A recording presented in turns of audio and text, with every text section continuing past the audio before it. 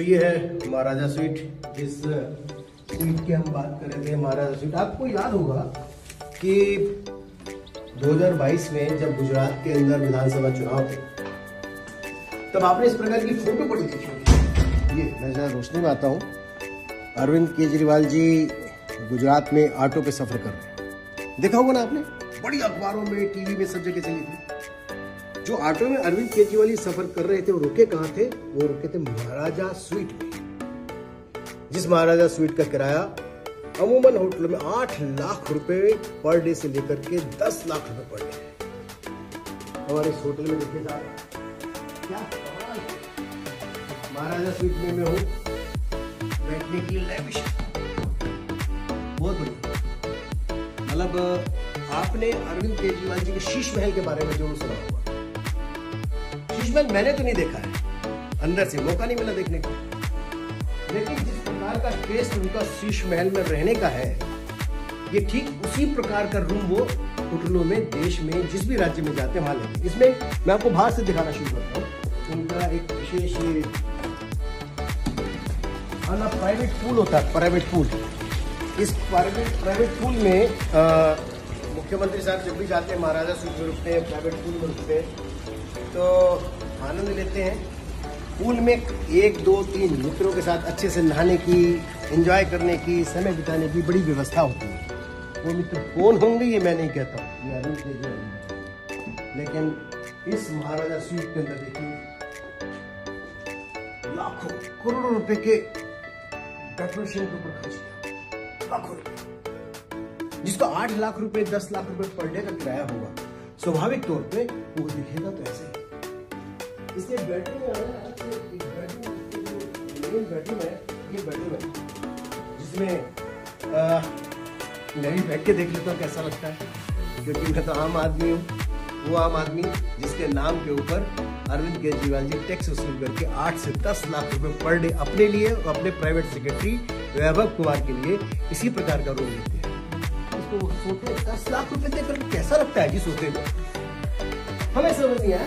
हमको तो जो एक अगर सरकारी या सामान्य गेस्ट हाउस मिलता है, उसमें अगर हम बैठ करके अपना रात निकाल लें छोटे छोटे होटल में निकाल तो हमको लगता है कि हमारा जीवन सफलता होगी। लेकिन देखिए इसमें अलग से रहे कमाल है। बाथरूम क्या?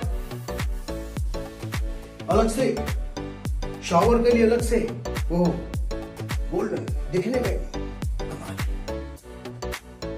दस लाख रुपए पर डे। दस लाख रुपए पर डे खर्च करा और निकल करके बैठे अस्सी रुपए देकर के थ्री व्हीलर में। देश की जनता को आप क्या समझते हो, जी? अब समझ में आया कि आपने अपने घर के अंदर करोड़ों लाखों रुपए के पर्दे कैसे लगा दिए? खुलता कैसे नहीं पर्दा? ओहो, ये दो कितने पर्दे हमारे ये खुलता बड़ा मुश्किल है। कमाल है। जो पर्दे घर में लाखों रुपए के लगते हैं वो कैसे लगे ये देखने के लिए मिलता है। देश की जनता को मूर्ख बनाने के लिए आठ से दस दस लाख रुपए पर डे के हिसाब से आपने एक दिन नहीं। पिछले आप चुनाव के समय में आपने 40 दिन प्रचार किया है और 40 दिन प्रचार के अंदर आप होटलों में रहे। और खुद अरविंद केजरीवाल जी जो कट्टर ईमानदार मुख्यमंत्री अपना आपको कहते हैं कट्टर ईमानदार पार्टी उनकी बताती है वो आठ से दस लाख रुपए पर डे के रूम को किराए पे लेकर के रहते थे अपने लिए और अपने प्राइवेट सेक्रेटरी के लिए। कैसे इस कारपेट पे जब चलते होंगे तो दस लाख रुपए पर डे, रोज के दस लाख रुपए। ज़ीरो कितनी होती है जी दस लाख रुपए में? आपको मालूम है? नहीं मालूम है। अंदाज़ा नहीं लगा सकते। दिल्ली में लोग आज भी खाने के लिए भूख से तरसते हैं। सरकारी कर्मचारियों को तनख्वाह नहीं मिलती। दिल्ली की नगर निगम की हालात बदतर हो चुके हैं। दिल्ली के स्कूलों की कंडीशन इतनी है बिल्डर फ्लैट की तरह स्कूलों को मॉडल को बेचते हैं, स्कूलों के अंदर बच्चों को पढ़ने के लिए, बैठने के लिए कुर्सियाँ तक नहीं खरीद सकते। पैसा नहीं है। और दस लाख रुपए पढ़ने में रहते हो पढ़ने के एक उनके सेक्रेटरी के बैठने के अलग से। पढ़ने की कुर्सी में बैठ के कैसा लगता है? इसके अंदर पानी की एक बोतल अगर लेने जाओगे तो तीन हज़ार रुपए की पानी की बोतल है, तीन हज़ार रुपए की एक पानी की बोतल।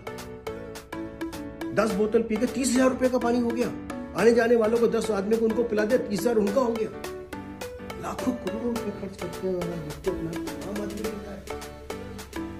आप मेरे से सूची मांगिए, मेरे पास सारे लिस्ट और मैं आम आदमी पार्टी को चैलेंज करता हूँ अरविंद केजरीवाल को चैलेंज करता हूँ तो मेरी किसी बात को डिनाई करके बताएँ कि अगर मैं झूठ बोल रहा हूँ तो सामने आकर अरविंद केजरीवाल बोले कि झूठ बोल रहे हैं वो किसी महाराजा सूट में, या प्रेजेंस सूट में नहीं रुके। मैं दावा करता हूँ अरविंद केजरीवाल जी के साथ, किसी भी जगह कहीं भी मैं चुनौती देता हूँ, आकर के मुझसे बहस करने में डॉक्यूमेंट दस्तावेज़ के साथ आया हूँ, पूरे प्रूफ लेकर के